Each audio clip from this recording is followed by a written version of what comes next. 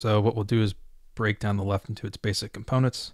So cosine of x over sine of x is what the cotangent is. Same thing on the bottom. So what we'll do is we'll get a common denominator. So we'll do, it's going to be cosine of x minus sine of x over sine of x.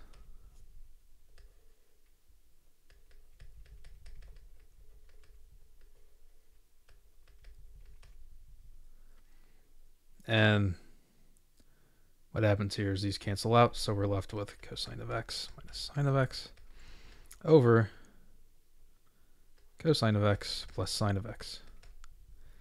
And multiply through on both of these by 1 over cosine of x.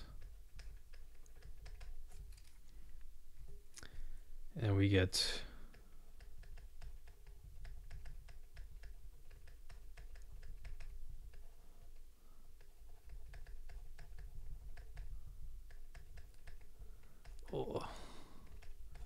goes to 1. So we end up with 1 minus tangent of x over 1 plus tangent of x. And that's it. All right. I hope this helped you out. I appreciate you watching, and you have yourself a fantastic day.